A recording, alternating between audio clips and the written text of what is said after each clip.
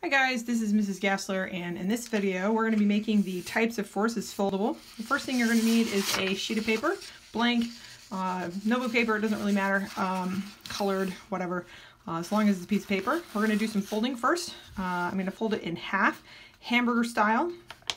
Uh, I'm going to go ahead and crease it. We're not going to do um, a whole lot of folding, uh, but I do need this as a reference because I'm going to fold this in kind of like I'm making a uh, science project um, display. Okay, I'm going to fold this one here. These are going to stay here like this.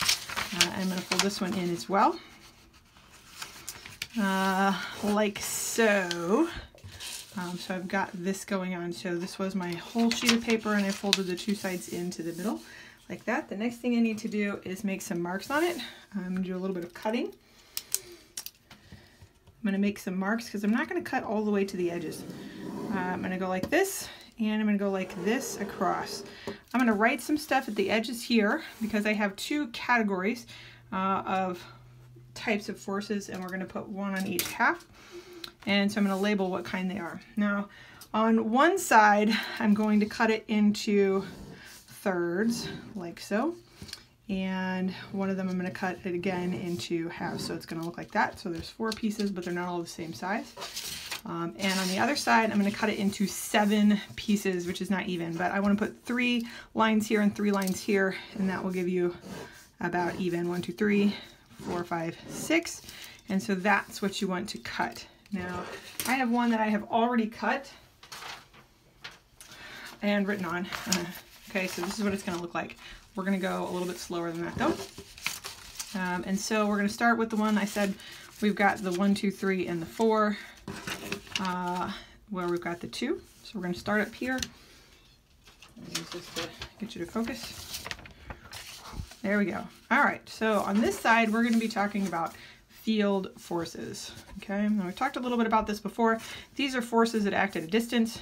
That means there's no touching required. Um, these are also called fundamental forces because it turns out all the other forces are really just these um, on a different level, okay? Um, the field forces are gravity, electromagnetic forces, weak nuclear forces, and strong nuclear forces. That's why these are kind of together um, as their own. Now these flaps, um, I have them cut now, so we're gonna open them up and we're gonna put some information on the inside, beginning with gravity. Gravity is a force between any two masses. Um, I'm going to go ahead and go underline any two masses. That means you and me. Uh, my dog who just walked in, um, she's also a mass and I am pulled toward her as well.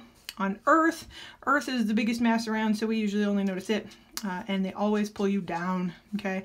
The symbol we use for this force is F with a subscript G for gravity. Electromagnetic forces um, are really uh, two separate forces, but it turns out they always go together, and you'll see why here in just a second. Electromagnetic forces are electric forces, F electric, and magnetic forces, F magnetic, okay?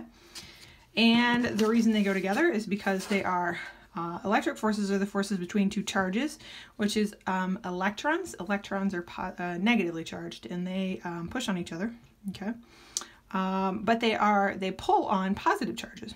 Okay, um, magnetic charges are the forces between two poles, and those poles on a magnet are because of spinning electrons. So you can see they're both dependent on electrons. You really can't have one without the other.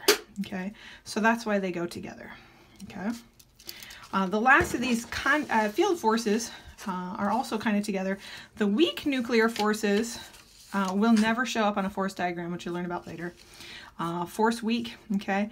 They're forces that hold the pieces of protons and the pieces of neutrons together. So what makes a proton a proton um, is held together because of uh, weak nuclear forces.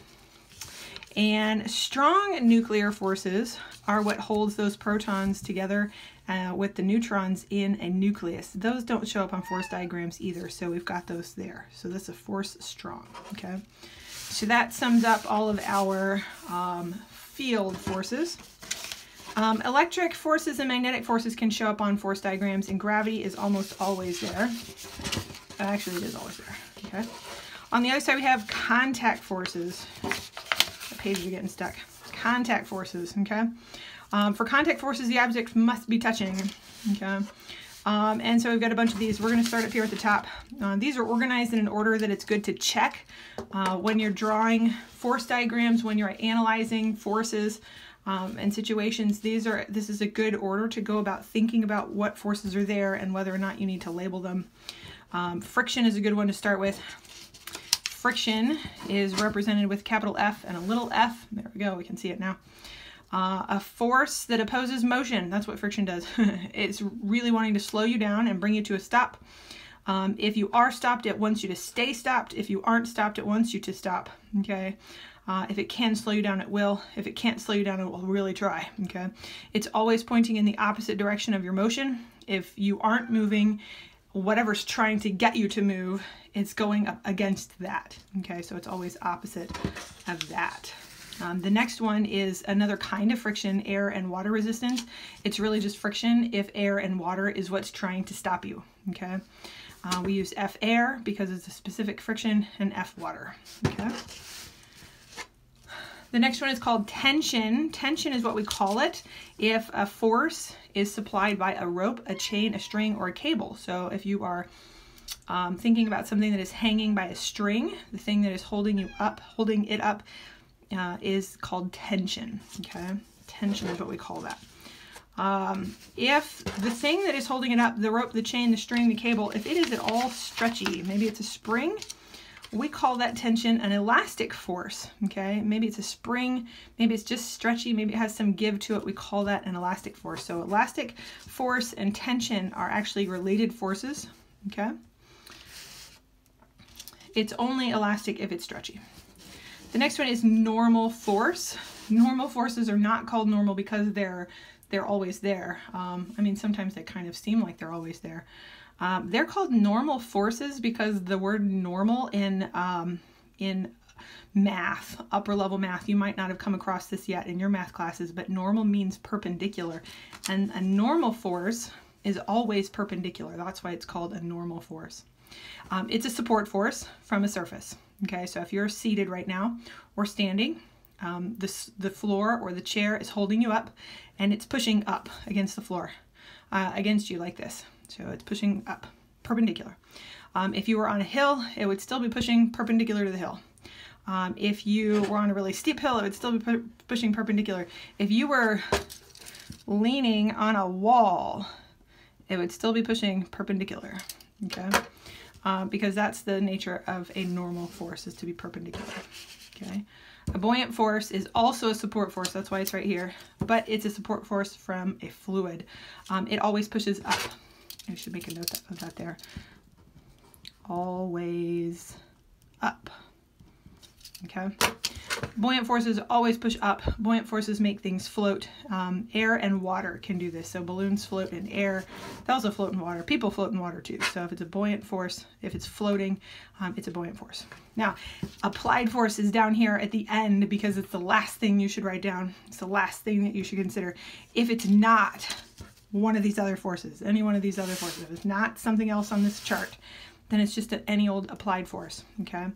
Um, you could write applied or you could write F something else, okay? Maybe it's a dog pulling on something, so you could write F dog. Maybe it's your friend pushing on you, so you could write F friend. You could put anything there, okay? Um, if it is something specific, then you could write down one of these things, and if it is something else, you could write F applied or F something specific, okay? And those are all of our types of forces now, it's important that you don't lose this. This is a useful tool to consider and use to identify forces and to make sure you've included everything on your force diagrams. Um, make sure you glue this or staple this onto an appropriate page in your packet so that it doesn't get lost. All right, thanks for watching.